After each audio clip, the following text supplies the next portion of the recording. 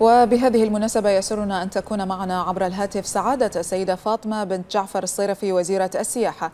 بداية سعادة الوزيرة نرحب بك في نشرة الثالثة وكلمة تودين توجيهها بمناسبة يوم المرأة البحرينية.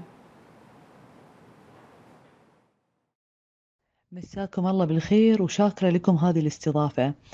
اسمحوا لي بداية أن أرفع أسمى آيات التهاني والتبريكات.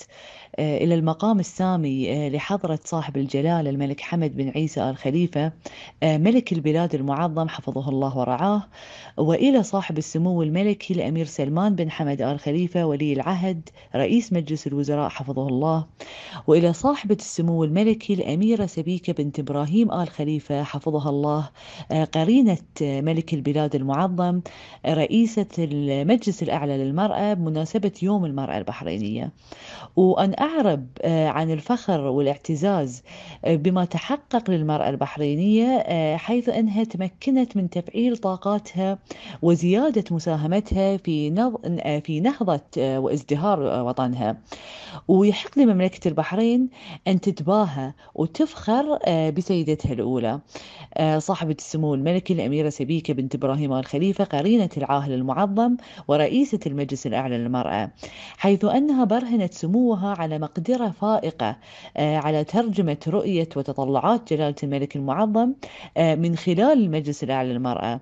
وما يطلقه المجلس من برامج ومبادرات نوعية جعلت مملكة البحرين نموذجا عالميا في مجال النهوض بقدرات المرأة وتوفير بيئة ممكنة لوصولها إلى أعلى المناصب وتحقيق أكبر المنجزات. سع... نعم سعادة الوزيرة كيف تصفين ما حققته المرأة البحرينية من إنجازات محلية وإقليمية ودولية أيضاً؟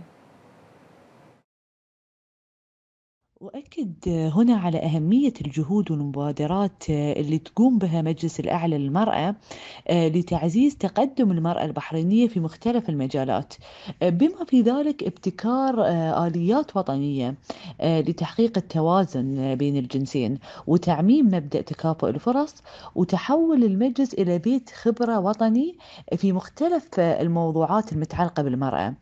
وأود أن ننوه أن الثقة الملكية اللي حظيت بها كأول وزيرة للسياحة بمملكة البحرين ما هي إلا ترجمة للنظرة الثاقبة لجلالة الملك المعظم حفظه الله ورعاه وثقته التامة في قدرات المرأة البحرينية.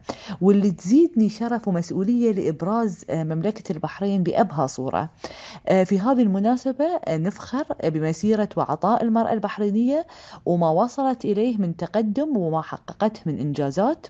وهنا أود أن أشير إلى أن حضور المرأة في وزارة السياحة وفي هيئة البحرين للسياحة والمعارض يقدم نموذج عن مدى التقدم آه الذي حققته المرأة البحرينية.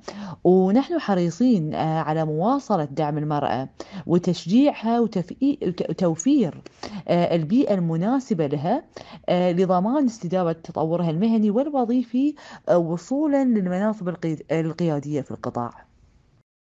نعم سعادة السيدة فاطمة بن جعفر الصيرفي وزيرة السياحة شكرا جزيلا لك.